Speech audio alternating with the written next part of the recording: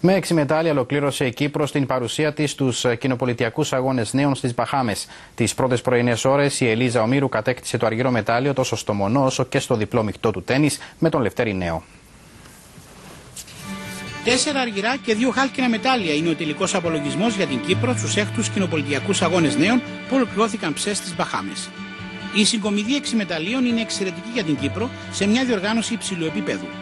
Στη χθεσινή τελευταία μέρα της οργάνωσης, η Κύπρος εξασφάλισε αργυρό μετάλλιο στο μόνο τέννη με την Ελίζα Ομήρου, η οποία ετήθηκε στον τελικό από την Ζιλ Ντεσάι από την Ινδία με 2-0 σετ, 6-3 και 7-6. Καθώς και ένα αργυρό μετάλλιο στον μειχτό διπλό στο τέννη, με το Λευτέρη Νέο και την Ελίζα Ομήρου να χάνουν στον τελικό από την Ινδία με 2-0 σετ, 6-3 και 6-3. Η Κύπρος εξασφάλισε και δύο τέταρτες θέσεις. Την τέταρτη θέση κατέλαβε ο Σπύρος Σάβα στον ακοντισμό έχοντας μόνο μία έγκυρη βολή.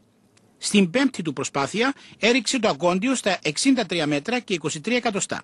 Έμεινε 2,5 και πλέον μέτρα μακριά από την ατομική του επίδοση που είναι 66 μέτρα και έχασε έτσι την ευκαιρία να διεκδικήσει κάποιο μετάλλιο.